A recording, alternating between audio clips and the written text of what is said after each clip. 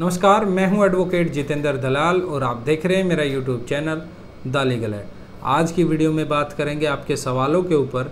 मेरे से बहुत सारे व्हाट्सअप के माध्यम से सवाल पूछे जा रहे हैं कि, सर, हमने एफआईआर दर्ज करा दी है, हमने दहेज की एफआईआर दर्ज करा दी है या कोई अन्य एफआईआर हमने दर्ज करा दी है? उसके बाद पुलिस जो है अन्य पार्टी को अरेस्ट नहीं कर सकती है तो हम ऐसी सिचुएशन में क्या कर सकते हैं कि पुलिस जो है दोषी पार्टी को अरेस्ट करे, उनके खिलाफ़ कार्रवाई करे और क्या कानूनी प्रक्रिया हम इस चीज़ के लिए अपना सकते हैं।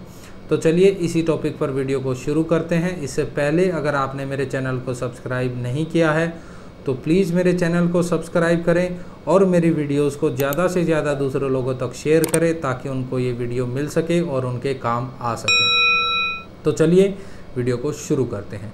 देखिए, सबसे पहले जो सबसे ज़्यादा मेरे पास सवाल आ रहे हैं कि सर, मैंने दहेज की कंप्लेंट दर्ज करा दी है और उसके बाद जो पुलिस है, दोषी पार्टी को, यानी मेरे ससुराल पक्ष को ना अरेस्ट कर रही है, ना ही उनसे कोई पूछताछ कर रही है, वो खुले घूम रहे हैं, बाद में भी हमें धमकियाँ दे रहे हैं तो ऐसी कंडीशन में हमें क्या करना चाहिए?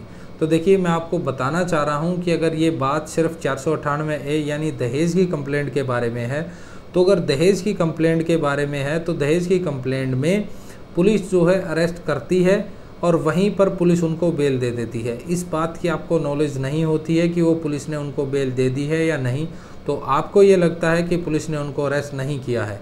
क्योंकि चार सौ अट्ठानवे ए के केस में पुलिस को ये पावर है कि वह दोषी को अपने माध्यम से ही जमानत दे देती है। जब उसको जमानत मिल गई है तो जमानत के बाद जब पुलिस इन्वेस्टिगेशन अपनी पूरी कर लेगी तो वो उनको चलान के साथ कोर्ट में पेश कर देगी। और जब वो चलान के साथ पेश करेगी तो ऐसी कंडीशन में आपको पता चलेगा, क्योंकि आपको भी गवाही के लिए सम्मन आएगा। लेकिन इस प्रोसीडिंग के बीच में आपको पता नहीं लगता है कि पुलिस ने उनको कोई किसी भी प्रकार से अरेस्ट किया है या उनको ज़मानत दी है या नहीं। लेकिन फिर भी अगर आप पता करना चाहते हैं तो ऐसी कंडीशन में आप अपनी एफआईआर के साथ स्टेटस रिपोर्ट उस पर्टिकुलर केस की मंगवा सकते हैं, जिसमें आपको पता चल जाएगा कि पुलिस ने उनको अरेस्ट किया है, नहीं किया है, कोई ज़मानत दी है या नहीं दी है। अगर पुलिस ने जमानत दे भी दी है और उसके बाद भी अगर आपको धमकियाँ दे रहे हैं या आपके साथ किसी प्रकार की अनैतिक घटना घटित कर रहे हैं या घटित करने की धमकी दे रहे हैं तो फिर से एक कंप्लेंट आप पुलिस में उनके अगेंस्ट दे सकते हैं। इसके अलावा अगर बात करूँ कोई अन्य एफआईआर की, कोई अन्य एफआईआर हुई है और जिसमें आपने एफआईआर दे दी है या कंप्लेंट आपने दी थी, उसके बाद काफ़ी समय बाद एफआईआर भी दर्ज हो गई है, लेकिन जो दोषी पार्टी है, उनको पुलिस ने अरेस्ट नहीं किया है तो क्या करें?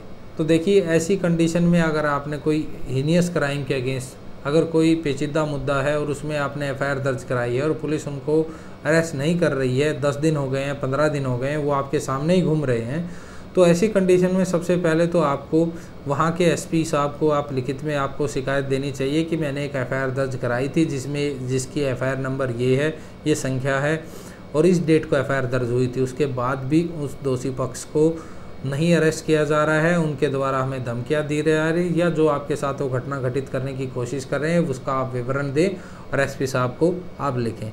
उसके बाद भी अगर आपकी कंप्लेंट पर कोई कार्रवाई नहीं हो रही है तो फिर आपको वकील साहब के पास जाना है और वकील साहब के पास जाकर आपको अपने उस पर्टिकुलर एफआईआर की स्टेटस रिपोर्ट के लिए एप्लीकेशन कोर्ट में लगाएँ।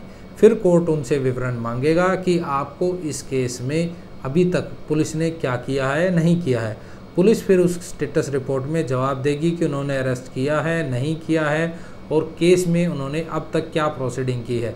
अगर कुछ ऐसी कंडीशन में उन्होंने कुछ नहीं किया है तो कोर्ट के माध्यम से आप उसी समय एप्लीकेशन मूव कराकर उनको डायरेक्शन भी दिला सकते हैं। इस माध्यम से उस केस में कार्रवाई हो जाएगी और अरेस्ट हो जाएँगे।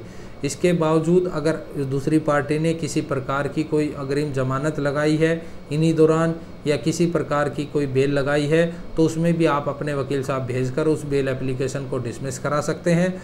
और डिसमिस कराने के बाद उसका ऑर्डर लगाकर भी आप स्टेटस रिपोर्ट के साथ एप्लीकेशन लगा सकते हैं। और अगर बेल डिसमिस हो जाती है उस पार्टी की तो उस बेल डिसमिस का ऑर्डर के साथ उस ज़िले के एसपी को आप लिखें कि इनकी बेल एप्लीकेशन भी खारिज हो गई है, जिसके बाद भी पुलिस जो है जानबूझकर इनको अरेस्ट नहीं कर रही है। कृपया करके इनको अरेस्ट कराया जाए, नहीं तो हमारी जान माल को खतरा हो सकता है। इस प्रकार आप एप्लीकेशन देकर और कोर्ट में एप्लीकेशन लगाकर अपनी केस में एफआईआर दर्ज की हुई में एफआईआर जो दर्ज आपके हुई है आपकी कंप्लेंट में, उसमें आप दोषी गण को अरेस्ट करवा सकते हैं। उम्मीद करता हूँ कि आपको आपके सवाल का जवाब मिला होगा।